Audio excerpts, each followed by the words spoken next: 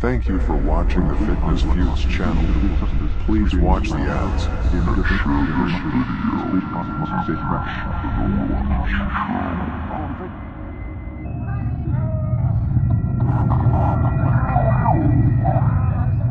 In the picture of Paul Dillett surfaced online suffering from rigor mortis, the general public started to realize that bodybuilding has dermatitis problem. Rigor mortis in a living person when an electrolyte imbalance causes muscles to stay contracted. All screamed out in pain. Oh my god, before being carried off the stage like a statue.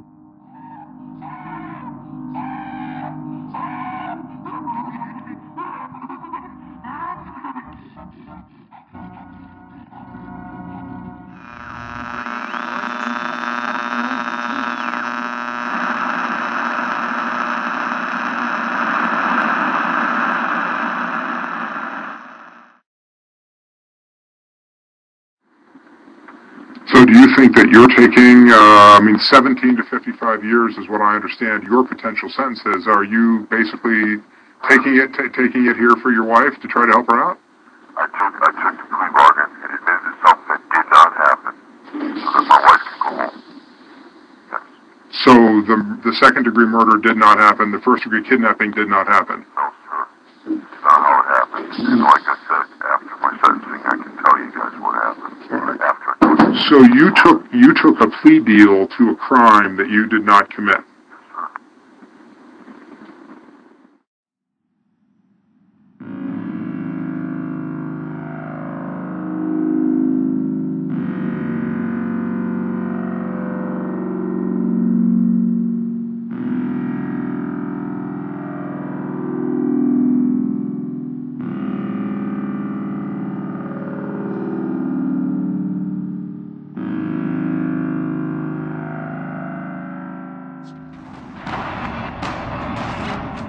Jaguar is torched.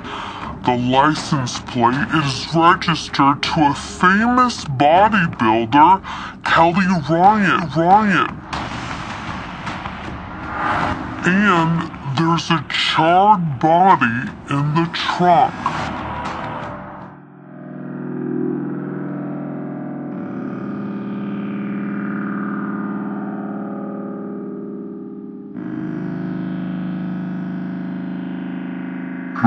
The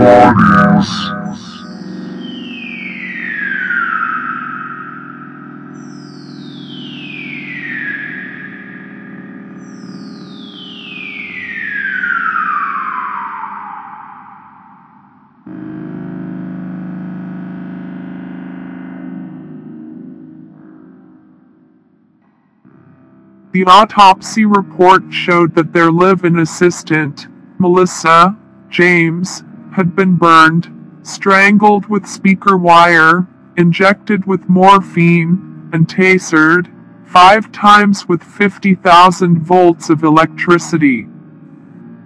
Her head was also covered partially with duct tape.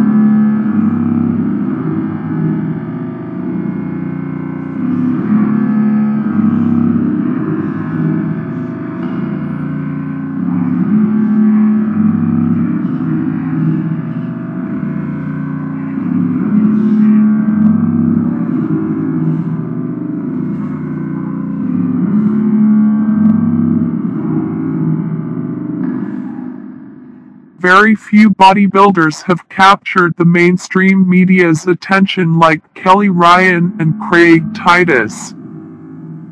Their story had all the elements of a fictional murder mystery, attractive characters, roid rage, fire, drugs, and running from the law. However, this story also characterized men's and women's bodybuilding in the worst way possible. Once again, the viewer was left feeling that bodybuilders are stupid, cruel, and heartless. The sport as a whole was hurt by these two narcissistic killers.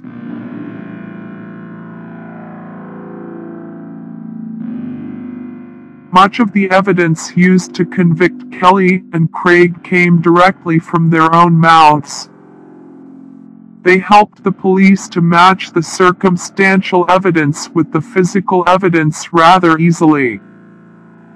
It started when they told the investigators that Melissa James was probably in the trunk of their car. Her body was unidentifiable at that time, then they told their friend Megan that they found Melissa in her room dead from an overdose. They decided to burn Melissa in Kelly's car to remove the body. They told their friend that Melissa had been using meth in their house. So they tasered her, beat her up, and then Kelly injected the lethal dose of morphine in her leg. They also told their friend Mandy that they found Melissa James dead from an overdose in her room. They thought it would be best to burn her in Kelly's Jaguar instead of calling the police. Craig even told his training partner Patrick that he killed Melissa, and his friend Anthony Gross helped dispose of the body.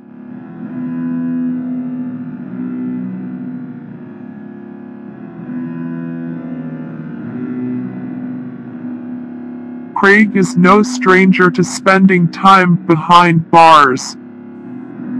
He has been convicted in the past of the possession of ecstasy with intent to distribute. He violated his probation by taking anabolic steroids, causing him to spend another 21 months in a federal prison. In order to avoid the death penalty, Craig Titus pleaded guilty to second-degree murder.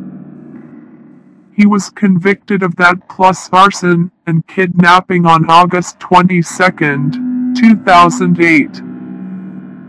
His prison sentence was 21 to 55 years. His first possible parole can happen on December 23, 2026. Kelly Ryan was convicted of arson and battery with a deadly weapon.